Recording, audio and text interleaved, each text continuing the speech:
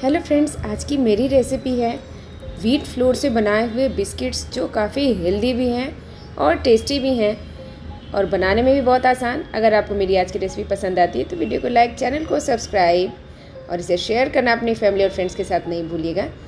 चलिए इसे बनाते हैं। तो यहाँ पर मैंने आज मेजरिंग स्केल लिया है और उस पर डाल दिया एक बोल टेयर करके बोल का मेज़रमेंट हम हटा देते हैं। उसके बाद हम इसमें घी डालेंगे। घी हमें डालना है 90 ग्राम्स, यानी कि 90 ग्राम्स इतना ही।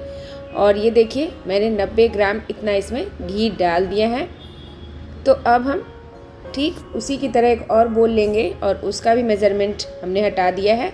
इसमें डाल देते हैं चीनी का पाउडर नॉर्मल चीनी को हमने पीस लिया था और उसमें पाउडर डाल दिया है 120 ग्राम। और अब हमने एक बड़ा बोल लिया है, उसमें डालना है हमें वीट फ्लोर ये देखिए 150 ग्राम के आसपास हमने वीट फ्लोर लिया है। आप चाहे तो मैदा से भी इसे बना सकते हैं, लेकिन ये मैंने काफ़ी हेल्दी बिस्किट्स यहाँ पे बना के तैयार किए हैं।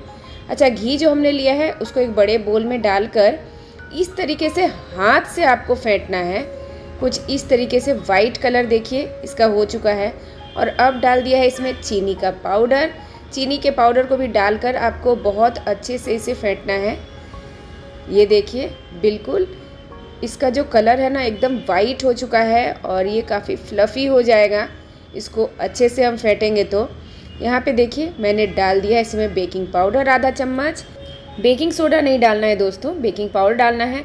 और जो शॉप वाले होते हैं ना, वो तो इसमें अमोनिया वगैरह डालते हैं, जिससे कि उनका बिस्किट काफ़ी हल्का हो जाता है। तो हल्का बनाने के लिए मैंने यहाँ पे बेकिंग पाउडर डाला। इसमें डाल दिया मैंने इलायची का पाउडर और साथ में डाल देंगे। वनीला एसेंस आठ से दस ड्रॉप ही डालें, बहुत ज़्यादा डालने की ज़रूरत नहीं है।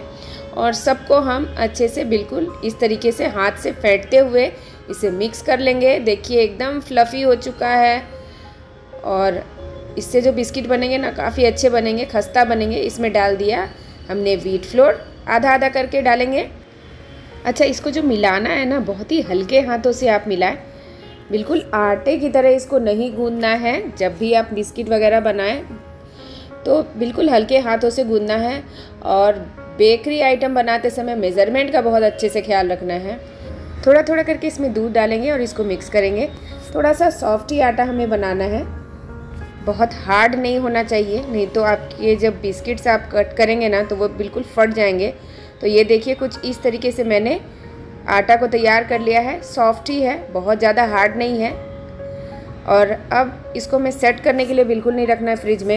यहाँ पर मैंने पार्चमेंट पेपर ले लिया है बटर पेपर ले लिया है, नीचे बोर्ड के ऊपर मैंने बिछा दिया है बटर पेपर को।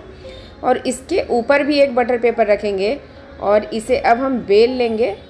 ये देखिए, इसको हम इस तरीके से करके ना बेल लेते हैं। अगर आप बिना बटर पेपर लगाए इसको बेलेंगे तो वो बेलन में बिल्कुल जाके चिपक जाएगा, इसलिए ऊपर से भी बटर पेपर ज़रूर लगाएँ। तो इस तरह से मैंने बेल कर तैयार कर लिया है और ये फोक लेकर मैंने इस पर डिज़ाइन बनाया है। फोक के बैक साइड से मैंने ये डिज़ाइन बनाया है।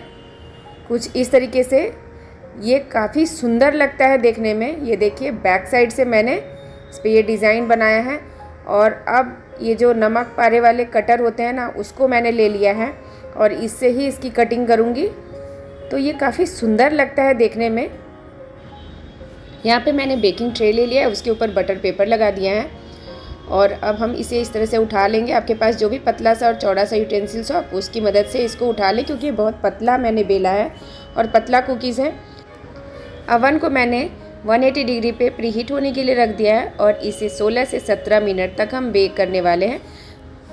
ये देखिए 16 मिनट के बाद मैंने इस कुकीज़ को निकाल लिया है। और ये कुछ इस तरीके से बनकर तैयार हुआ है। बहुत ही टेस्टी और हेल्दी ये कुकीज़ बनकर तैयार हुआ है।